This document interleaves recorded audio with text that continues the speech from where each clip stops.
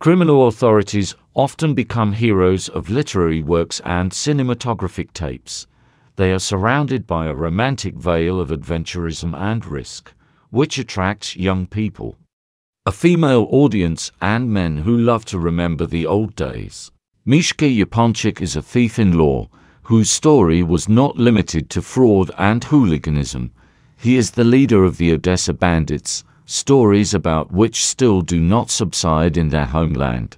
The adventurous life of this man is surrounded by rumors and gossip because he managed to subjugate the underworld of the city, famous for its dissolute spirit. The biography of the hero is full of adventures and outstanding events. He was born in the center of Moldavanka in 1891. According to the passport, the future celebrity of Odessa was listed as Moishe Yakov Wolfovich Vinitsky. The Vinitsky family was large and friendly, despite the harsh disposition of its head. Mishka was educated in the synagogue, attending it for several years in a row. The father planned that the son would continue his work, taking up the cart industry and the mother dreamed that Moishe Yakov would devote himself to spiritual service. The boy himself considered both options boring and wanted to build a life differently. Mishka was captivated by social life trips to theaters and restaurants surrounded by lovely ladies. Due to the fact that the available resources were not conducive to such a life, as a teenager he vowed to conquer Odessa. The nationality and origin of the hero played a significant role in his formation. Moldavanka was famous for being a place teeming with smuggling. It was not easy to get into the business. Everyone who was involved in it was tied to each other. The bandits, whose refuge this area served, hunted by the fact that, in cooperation with the owners of inns, coachmen and shopkeepers, they carried out raids that enriched the participants in the transaction. Rumors of crime spread quickly, and the glory of Moldavanka went around, and children playing raiders reinforced the generally accepted opinion. They dreamed of a better life and those who managed to rise became heroes.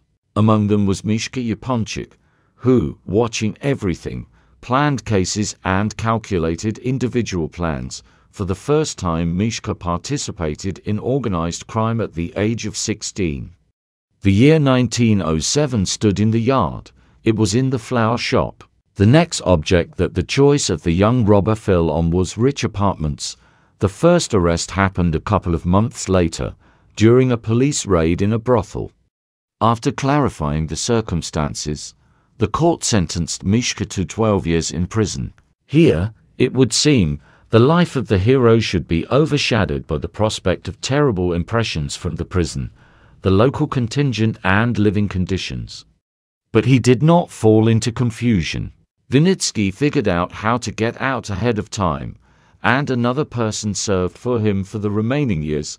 The deception was quickly revealed, but no one wanted to report the police oversight. And the case was hushed up. Mishka at that time decided that it was time to conquer Odessa at 24. He asked to join the gang of Meir Gersh, where he later received the nickname Yaponchik in a short period of time. The man became known as a criminal authority. Having put together his own gang, he kept manufactories and shops at bay two years later. The underworld of Odessa considered Mishka the leader, and Meir Gersh turned out to be an assistant. Thousands of bandits and smugglers united under the leadership of Yaponchik, who had his people everywhere, gave bribes and deftly avoided raids. A criminal syndicate organized by a bandit united groups in the regions of the Russian Empire. He became the first who managed to rally around himself a coalition of enemies of law and justice. Yaponchik's connections were so great that he drew resources from the treasury and the criminal cartel had a clear structure and hierarchy.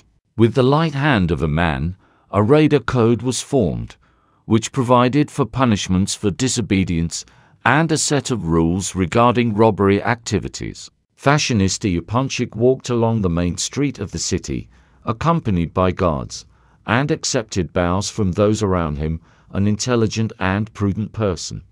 He was aware of the business and aspects of the business. The personal life of the hero, at the same time, was not inferior to the professional, a frequenter of opera and literary evenings. The hero was present at social events and maintained friendship with cultural and art figures. For the chic receptions and parties that Yaponchik hosted, he was nicknamed the King in Odessa. The crime boss managed to hold on to power even during the Civil War. Cunning and resourcefulness made it possible to assemble a large detachment under the leadership of the raiders, which easily repelled the attacks of those who disagreed with the king of Odessa. Yaponchik was taken neither by Denikin's General Schilling nor by the Bolsheviks. The White Guards had to establish relations with him, but the constant tense and conflict situation did not allow anyone to relax the Bolsheviks resorted to the help of authority in organizing public events. Posters promising peace in the city were often found on the streets with the signature of the leader of the Odessa Mafia. When the time came to show who the true owner of the city was, the Reds decided to oppress Yaponchik and took extreme measures like executions without warning. The hero quickly orientated himself in the current situation and came up with a cunning plan he joined the ranks of the Red Army.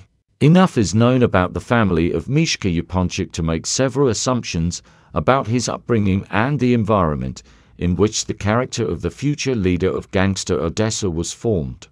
He was born into a family that belonged to the famous Jewish dynasty of Korotichi. From a village in the Kherson province, parents and their children moved to Odessa. Mishka had four brothers and a sister, Abram, Grigory and Yuda died at the front. And Isaac moved to America and died in New York. Yaponchik's sister died in 1919 from Graves' disease. The hero's father died early, but the stern hard worker, who loved booze and a strong word, made the boy's character hardened from childhood. Family values meant a lot to Yaponchik.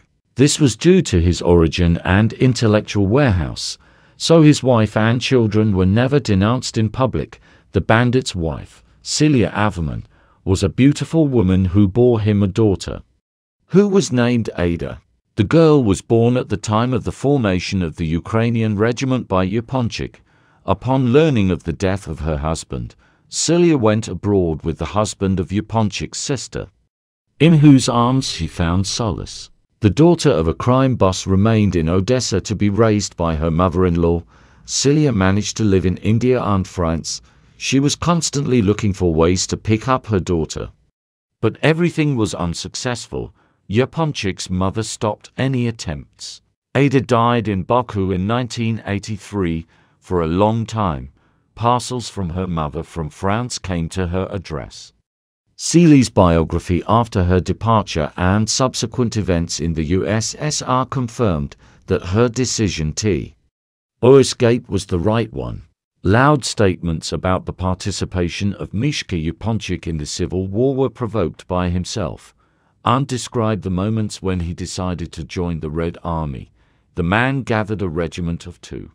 500 people and went to the front.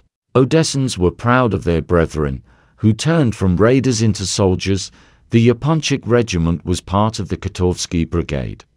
And the influence of his wards on those who used to be civilians soon seriously worried the leaders of the Red Army.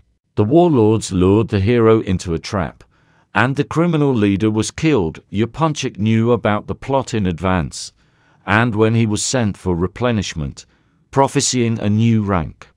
He ordered the regiment to return to Odessa without permission. Taking the detachment, he went for replenishment, captured the echelon and sent the train to Odessa. The hero did not reach the city, as there was a traitor among the confidants. He surrendered the commander, and in Voznesensk a cavalry division arrested the deserters. Yaponchik refused to go into captivity and was shot dead by Nikifor Ursulov, the commander of the capture squad. The causes of Yaponchik's death were betrayal and two shots in the